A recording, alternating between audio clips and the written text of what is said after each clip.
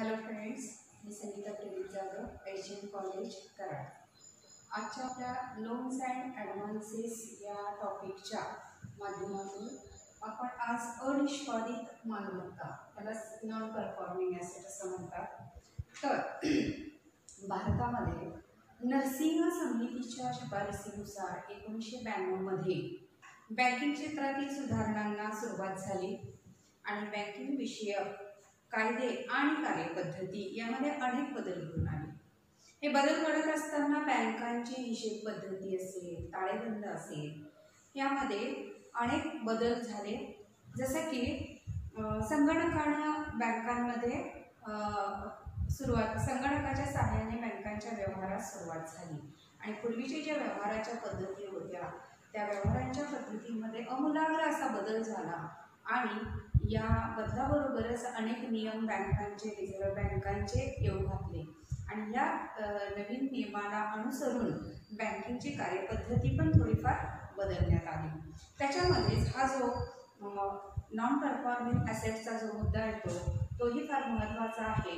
कारण बँकांचं कार्य हे ठेवी स्वीकारणे आणि कर्ज देणे या दोन कार्यांवरती चालते जे प्राथमिक आणि दुय्यम कार्य आहे. तर ही जे दुय्यम कार्य आहेत जे कर्ज देतो बँक कर्ज देते तर हे कर्ज देत असताना विविध प्रकारची कर्जे देत असते. आणि ही कर्जे देत असताना त्याच्यावरचं जे काही व्याज आहे ते वेळेत भरणं बंधनकारक असतं. पण अपवादात्मक स्थितीमध्ये काही कर्जदारांकडून अशा पद्धतीचं व्याज किंवा मुद्दल भरली जात नाही तेव्हा ती जी असेट असते ती नॉन परफॉर्मिंग ॲसेटच्या अंडर येते. तर ही जी बँकांची वित्तीय स्थिती मजबूत करण्यासाठी अशी काही पावलं उचलण्यात आली ज्यामध्ये अनिष्पादित मालमत्तेचा पण एक प्रकार आढळून येतो. आणि संभाव्य नुकसान टाळण्यासाठी बँकांकडील अनिष्पादित मालमत्तेची ओळख होणं गरजेचं आहे. आणि त्यासाठी आता अनिष्पादित मालमत्ता म्हणजे काय? की बँकेने दिलेल्या एकूण कर्जापैकी ज्या कर्जाद्वारे बँकेला उत्पन्न मिळण्याची शक्यता जवळजवळ मावळलेली आहे अशा कर्ज स्वरूपातील मालमत्ता म्हणजेच अनिष्पादित मालमत्ता होय. म्हणजे बँका जेव्हा कर्ज देतात विविध घटकांना समाजातील तेव्हा अशा काही घटकांकडून ते त्याची जी वसुली असेल किंवा त्याचं व्याज असेल हे वसूल होण्याची शक्यता जवळजवळ मावळलेली असते. जसं की आपण आता आपल्या याच्यामध्ये बघत आहे वि विजय म्हणल्यासारखे लोक मोठमोठी कर्जे घेतात आणि ती कर्ज देत नाही तर ते बाहेरच्या देशामध्ये फरार होतात. तेव्हा ही जी मालमत्ता आहे ती काय समजणार? की ती अनिष्पादित मालमत्ता व्हायला सुरुवात होते. बँका वेगवेगळ्या पद्धतीने त्यांच्याकडून वसूल करण्याचा प्रयत्न करतात. त्या कर्जदाराची असेट सील करतात मालमत्ता सील करतात. पण काही लोक आपल्या मालमत्तेपेक्षा सुद्धा जास्त कर्ज घेतात. तेव्हा अशा कंडिशनमध्ये अशी निष् अनिष्पादित मालमत्ता किंवा बँकांना धोका संभवण्याचा उद्भवत असतो. तर ही बँकेने जी काही कर्ज दिल्यानंतर त्यावरची व्याजाची रक्कम जर थकीत झाली तर त्याला अनिष्पादित मालमत्ता असं सलग सहा महिने एखाद्या कर्जदाराने कर्जाचे व्याज भरले नसेल तर अशाही कर्जासाठी जी काही मालमत्ता आहे ती अनिष्पादित मालमत्ता आहे. त्याच्यातून काहीही उत्पन्न बँकेला मिळत नाही असा त्याचा अर्थ होतो. यालाच अलाभदायी मालमत्ता असं सुद्धा म्हटलं जातं. अलाभदायी मालमत्ता असंही म्हटलं जातं. म्हणजे सामान्यपणे व्यापारी बँका ह्या ठेवी संकलित करून त्याद्वारे समाजातील गरजू व्यक्तींना कर्ज पुरवठा करतात आणि कर्ज पुरवठा केलेली रक्कम पुन्हा बँकेकडे मुद्दल आणि व्याज या स्वरूपात कर्जदाराने भरावयाचे असल्याने ती त्याच्यासाठी जे काही तारण वगैरे ठेवलेलं आहे ती बँकेची एक प्रकारची कर्ज पेटेपर्यंतची मालमत्ता असते. कर्ज दिल्यानंतर बँक हप्त्या हप्त्यामध्ये किंवा एकदम कर्ज रकमेची वसुली करत असते. कर्ज व्यवहाराद्वारे मिळणारे व्याज हे बँकेच्या उत्पन्नाचे महत्त्वाचे साधन आहे. म्हणजे कर्जाच्या माध्यमातून जे काही व्याज मिळतं बँकेला ते बँकेचं काय आहे? उत्पन्न. मग हे जर व्याज मिळालं नाही तर ही जी अलाभदायी मालमत्ता आहे ही अनिष्पादित मालमत्तेमध्ये काय होते? कन्वर्ट होते. तर अशा पद्धतीचे हे जे काही कर्जाची वसुली थांबली तर अनिष्पादित मालमत्तेमध्ये वाढ होते आणि बँकेच्या दृष्टिकोनातून अतिशय नुकसानीचा व्यवहार असतो. तर व्याजरूपी उत्पन्न मिळवून देण्याची क्षमताच घटते बँकेची.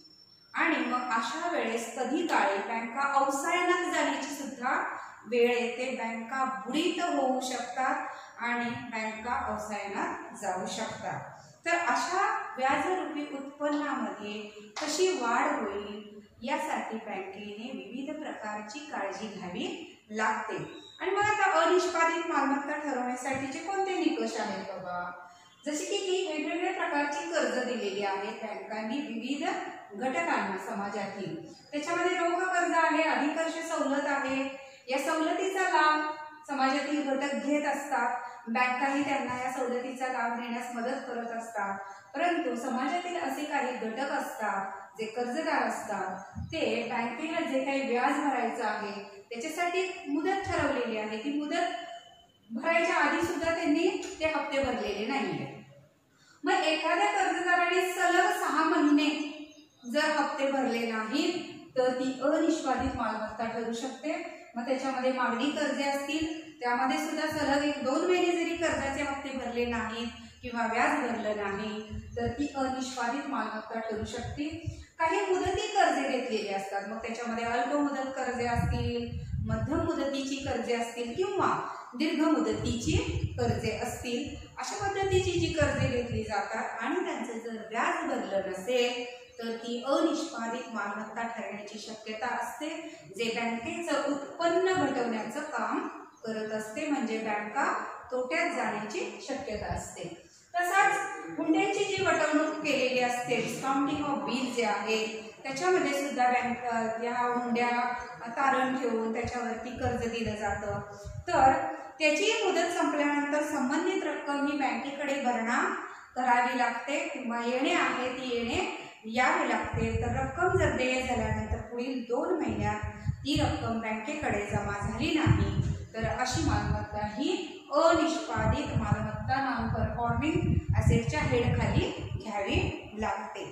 आता अनिष्पादित मालमत्ता तशा कोणकोणत्या कारणामुळे निर्माण होऊ शकते बाबा?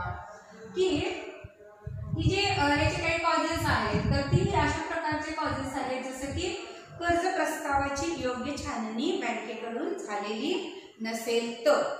म्हणजे जेव्हा एखादा कर्जदार बँकेकडे कर्जाच्या मागणी करण्यासाठी कर्ज मागणी अर्ज सादर करतो तेव्हा त्याच्यामध्ये काही क्रायटेरिया आहे बँकांचा जे काही रूल्स आहेत ते त्याच्यामध्ये त्यांनी त्या पद्धतीचा तो प्रस्ताव दिलेला आहे. त्या प्रस्तावामध्ये व्यवस्थित जी काही डॉक्युमेंट्स दस्तऐवज दिलेले आहेत त्यांच्या वेतनाचा दाखला असेल किंवा आणखीन काही त्याच्या मालमत्तेशी संबंधित काही डिटेल्स असतील ते सगळं छाननी करणं गरजेचं असतं आणि त्याच्यामध्ये योग्य प्रस्तावाची यो कर्ज प्रस्तावाची योग्य छाननी झाली पाहिजे. ज्या व्यक्तीला कर्ज दिलं जातंय त्या व्यक्तीचं चारित्र्य कसं आहे? त्या व्यक्तीचं उत्पन्नाचं साधन काय आहे? उत्पन्नाचे मार्ग कोणते आहेत? तो आपण घेतलेलं कर्ज कोणकोणत्या मार्गाने तो फेडू शकतो? त्याला जे काही हप्ता दिला किंवा इन्स्टॉलमेंट जे ठरवून दिलेलं आहे ते जे इन्स्टॉलमेंट तो आपल्या पगारातून किंवा उत्पन्नातून देण्याची त्याची क्षमता आहे का? या सगळ्या गोष्टी तपासून जरी योग्य छाननी केली असेल तरी निष्पादित अनिष्पादित मालमत्ता वाढण्याची शक्यता कमी असते. पण छाननी करताना एखादी गोष्ट नजर चुकीनं जर राहून गेली असेल किंवा कर्जदाराने थोडेसे फसवणूक केली असेल डॉक्युमेंट देताना तरी सुद्धा अनिष्पादित मालमत्ता वाढण्याची शक्यता जास्त असते. तसाच कर्जाच्या परतफेडीकडे दुर्लक्ष. जर कर्जदाराने कर्जाची रक्कम विशिष्ट कालावधीमध्ये ठरवलेल्या हप्त्यामध्ये परत फेडावयाची असते आणि कर्जाची परतफेड योग्य पद्धतीने होत नसेल सलग सहा महिने तो व्याजाचे हप्ते थकवत असेल तर अशा पद्धतीची जी काही कर्ज आहेत ती अनिष्पादित मालमत्तेच्या हेडखाली घ्यावी लागतात. त्यांना वारंवार सूचना द्याव्या लागतात. अशा पद्धतीच्या त्यांना नोटीस बजावून त्यांच्याकडून ही जी कर्जाची परतफेड आहे त्यास त्यासाठी थोडीशी वसुली होणं गरजेचं आहे. म्हणजेच कर्ज वसुली यंत्रणेचा जो अभाव आहे तो बँकांकडे मोठ्या प्रमाणात आहे. कर्ज देतात पण वसूल करण्यासाठी त्यांच्याकडे कोणत्या यंत्रणा आहेत? या यंत्रणेच्या अभावामुळे कदाचित अशा पद्धतीची अनिष्पादित मालमत्ता निर्माण होऊ शकते. यासाठी बँकांनी आपली जी कर्ज वसुलीची यंत्रणा असेल फॉर एक्झाम्पल काही लोक बँकांची एखाद्या व्यक्तीला मोठ्या पद्धतीचं कर्ज दिले त्याचा जो व्याजाचा हप्ताही मोठा आहे मुद्दल मोठी आहे. तर ती वसुली करण्यासाठी काही वेळेस लोक बँकेच्या लोकांना किंवा अधिकाऱ्यांना क्वचित प्रसंगी त्या व्यक्तीच्या घरी जाऊन भेट द्यावी लागते. त्यांना कर्ज भरण्यासाठी सूचना द्यावी लागते. दंड आकारण्याची थोडी भीती द्यावी लागते आणि मगच अशा पद्धतीच्या कर्ज वसुली होऊ शकतात. यासाठी बँकाने आपली जी यंत्रणा आहे ती थोडीशी स्ट्रॉंग करायला हवी. संचालकांचे हितसंबंध. आता बँक म्हटली की तिथे संचालक मंडळ आलं. संचालक मंडळ आलं की त्यांचे नातेवाईक आले. आणि मग संचालक मंडळातील एखाद्या नातेवाईकानं बँकेमध्ये कर्ज घेण्यासाठी ॲप्लिकेशन केलेलं असेल तर तो त्या बँकेचा संचालकाचा कोणीतरी जवळचा नातेवाईक आहे. म्हणून त्याला फार त्याच्यावर दस्तऐवजांची छाननी वगैरे न करता जर त्याला कर्ज दिलं असेल तर असंही कर्ज वसूल होणं थोडंसं अवघड जातं. आणि मग त्यांचेही काही व्याजाचे हप्ते थकीत होतात. आणि हे जे संचालकांचे संबंध त्यात गुंतलेले असल्यामुळे काही वेळेस बोलता येत नाही. आणि मग ही अशी अनिष्पादित मालमत्ता वाढून बँकेचं उत्पन्न घटण्यास सुरुवात होते. भांडवली गरजेंच्या परीक्षणांचा अभाव. जेव्हा एखादा कर्जदार बँकेकडे कर्जाची मागणी करतो त्याचा हेतू काय आहे? तो कोणत्या कारणासाठी कर्ज मागत आहे? किंवा त्याच्याकडे भांडवलाची खेळतं भांडवलाची काय तरतूद आहे बाबा? या सगळ्या गोष्टींचा अभ्यास करून मगच त्या व्यक्तीला कर्ज जर दिलं गेलं तर अशा पद्धतीची अनिष्पादित मालमत्ता निर्माण होऊ शकणार नाही. तर या ज्या उद्योजक असतील किंवा कर्जदार असतील मागणी केल्यानंतर त्यांची जी भांडवलाची आवश्यकता आहे याचं आधी परीक्षण होणं गरजेचं आहे आणि नंतरच त्यांना कर्ज दिलं गेलं पाहिजे. उद्योगांचे अकार्यक्षम व्यवस्थापन.